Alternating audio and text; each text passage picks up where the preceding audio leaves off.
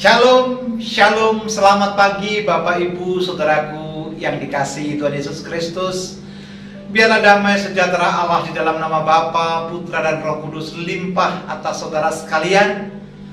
Istirahat kita semalam dalam penjagaan Tuhan dan hari ini adalah hari berkat, hari yang penuh dengan sukacita dan anggur yang baru dicurahkan atas kita. Berjumpa kembali bersama dengan saya dalam program Word from Heaven. Sorga memberikan arahan atas kita. Sorga memberikan firman-Nya atas kita dan perkataan sorga yang membuat kita yang lemah Tuhan kuatkan, yang putus asa diberikan pengharapan, bahkan yang letih lesu Tuhan pun kuatkan. Ibu bapak yang dikasih Tuhan Yesus Kristus, pasti semua orang rindu hidupnya diberkati. Pasti semua orang rindu pekerjaannya sukses dan berhasil. Pasti kita rindu sering dikasih Tuhan Yesus Kristus bahwa anak cucu mantu kita boleh berhasil, Terlebih seperti apa yang Tuhan inginkan dan seperti yang kita doakan. Tentu semua orang Kristen yang melayani rindu pelayanannya pun diberkati oleh Tuhan. Tahukah saudara?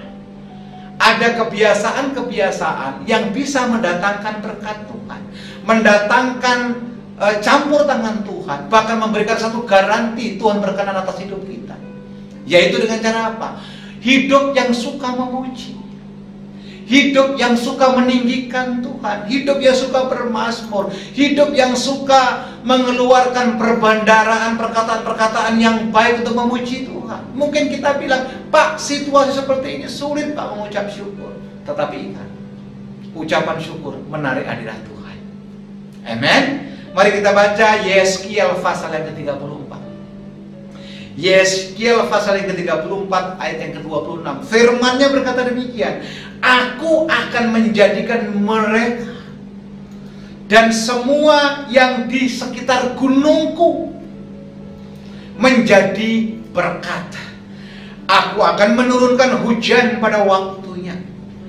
Itu adalah hujan yang membawa berkat. Siapakah yang diberkati dan menjadikan menjadikan berkat itu adalah kebiasaan atas hidupnya, yaitu orang yang dekat dengan gunung Tuhan, orang yang suka memuji Tuhan, orang yang suka bermasmur demi namanya, orang yang suka mengagung-agungkan kemuliaannya. Amen. Hiasi perkataan kita dengan ungkapan syukur. Hiasi mulut kita dengan nyanyian-nyanyian untuk mengagungkan nama yang agung itu yaitu Yesus Tuhan.